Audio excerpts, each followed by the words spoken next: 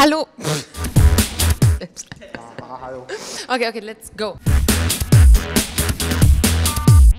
Ähm, hallo, mein Name ist Gamse. Hallo.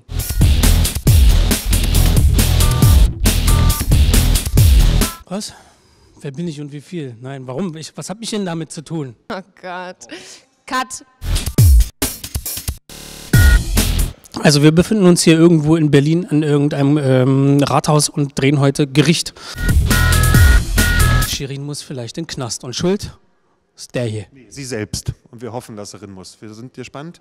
Bin mir noch nicht sicher, aber sie selbst. Sie ganz alleine. Dieser Banküberfall, das war von Anfang an allein Scherins Idee.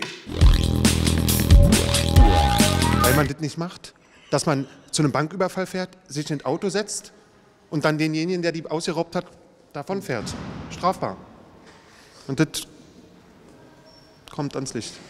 Ich war tierisch verknallt. Ich hätte alles für sie gemacht.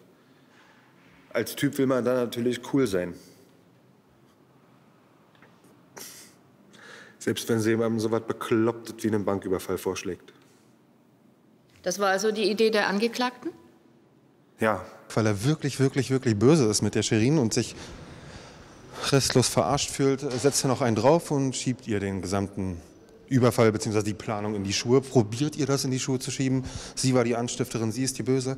Eigentlich ist der Erik doch der Liebe. Der Erik ist die eigentliche Shirin und Shirin ist der eigentliche Erik.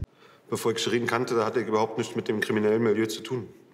Sie war aber damals schon in der Drogenszene und hat so ja gedealt. Das ist nicht wahr! Naja, Erik ähm, lügt. Aber als wir vor der Bank waren, da. Ich konnte nicht. Ich hatte Angst, richtig Panik. Aber Sherin, die hat mich nur ausgelacht und meinte, ich bin ein Lappen. Meinte, ich soll eine, eine Leine ziehen, damit ich nicht die Hosen voll habe. Das ist gelogen, es war genau andersrum. Bitte seien Sie still, Frau Akinci, Sie sind nicht dran. Aber wenn eine Lügnerin über jemanden sagt, dass er lügt, sollte man es vielleicht hinterfragen. Shirin lügt nicht. Nein.